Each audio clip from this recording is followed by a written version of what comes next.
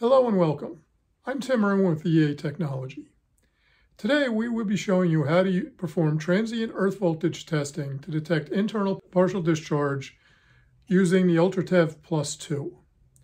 We will also be showing you how to use the optional UltraTev Plus 2 locator probe to help determine where the TEV source is. When the UltraTev locator probe is used with the UltraTev Plus 2, the source of the PD can be located within 4 inches. The locator probe utilizes time of flight detection of the TEV wave between two probes to determine which probe is closest to the PD source. By simply moving the probe around on the gear and determining which probe detects the TEV pulse first, the source's location can be determined.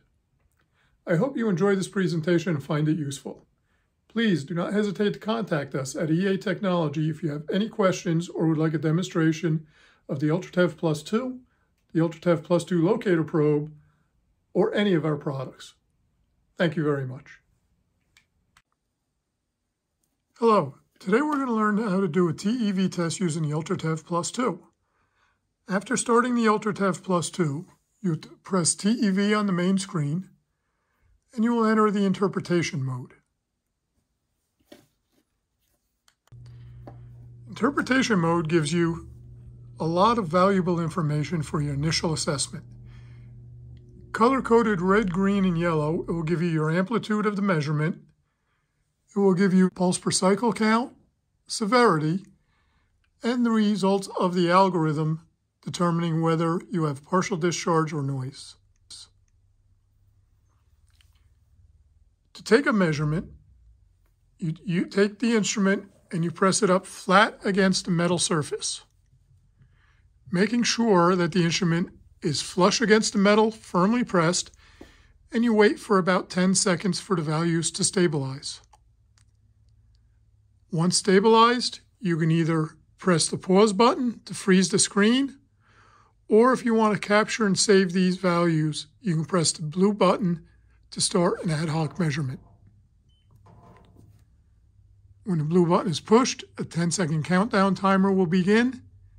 And once completed, you will be asked to enter in information to complete the survey, starting with job number and engineer's name. More about doing a survey and recording data can be found in our survey video.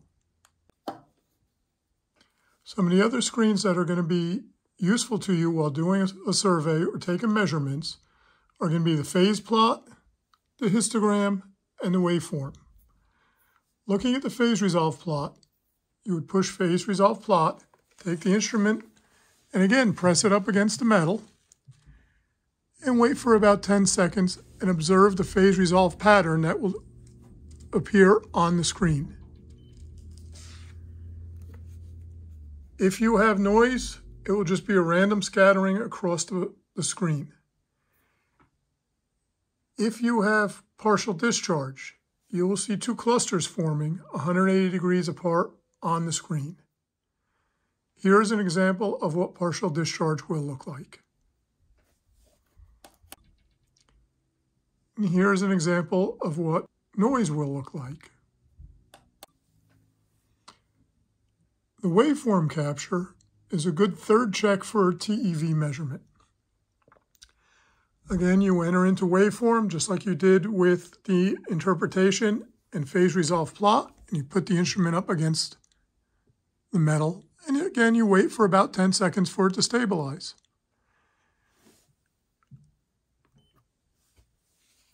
Internal partial discharge has a very distinct waveform characteristic. There will be a single spike high above the background noise level, very, very narrow in bandwidth. Here's an example of what a partial discharge waveform capture looks like. If you have a repeated pattern, a sinusoidal pattern, that will be most likely considered noise. Here's an example of noise from a TEV measurement. The final screen that's of use to you when doing testing is your histogram screen. The histogram takes all data points and plots it by amplitude across the horizontal on the graph, and it gives you a numeric count of each amplitude. If you have partial discharge, you will get a clustering of data. If you have two PD sources, you will see two different clusters of data forming on the screen. TEV attenuates over distance.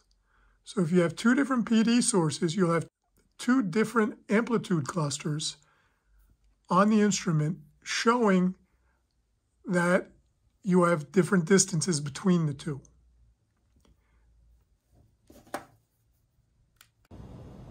The UltraTEV Plus 2 locator probe is an accessory for the UltraTEV Plus 2 that allows you to locate a TEV PD source to within 4 inches. The UltraTEV Plus 2 locator kit consists of the locator probe and extension cable to be connected to your UltraTEV Plus 2. When connected, it allows you to detect PD by time of flight indicating on your UltraTEV Plus 2 which of the two probes sees the PD first.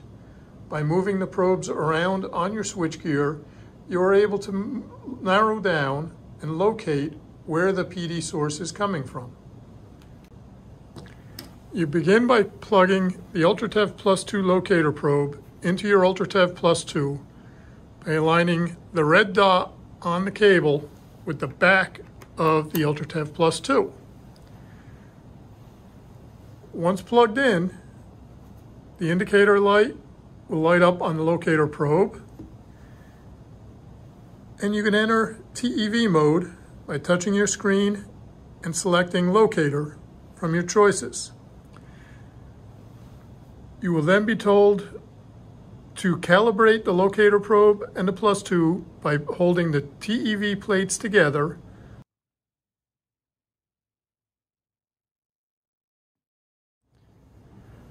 To accomplish this, you press the front of the units together and you press the OK button or the middle blue button on the display. It will give you a calibration complete indication and you press OK again. Now the units are calibrated. From the UltraTEV Plus 2 main menu, select TEV and then Locator. The display is segmented in half. The left-hand side is red, which corresponds with the red locator probe. The right side is blue, which corresponds to the blue UltraTEV Plus 2. Locator mode can be used to locate PD by showing which probe detected the TEV si signal first. It shows this with a green first indicator on the blue right side of the UltraTEV Plus 2 if the UltraTEV Plus 2 is closest to the source, or the red left side if the locator probe is closest to the source. For accurate determination of precedence, it is important that the trigger levels are set to a suitable value. The trigger level sets the threshold of the detection circuit so that no pulses signals below the trigger level are detected. Therefore, it is important to ensure that the trigger levels are set to higher than the noise floor while also comfortably below the maximum level of the PD. In most situations, the trigger levels should be of similar value on each probe and not deviate by more than 5 dB. Having the trigger levels more than 5 dB apart may affect the accuracy of your result results. To set the trigger level, you will press the plus and minus buttons to change your level. To switch over to the opposite probe, touch the side of the screen that you want to set the level for. The locator probe level will become highlighted and now you can set the values by using the up and down buttons on the UltraTEV Plus 2.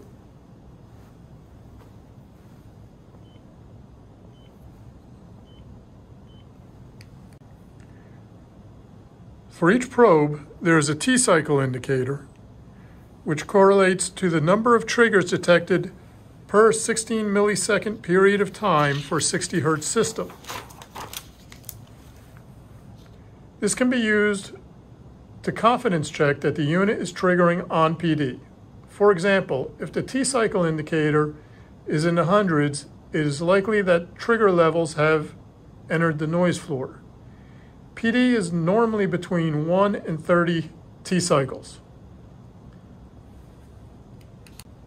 When more detail is required than simply knowing which probe a PD source is closest to, for example, when there is more than one source, Locator Advanced Mode can provide more information than standard locator mode. The control controls trigger levels and basic operation is the same as standard mode. However, the UltraTev Plus 2 display shows a histogram of all received pulses.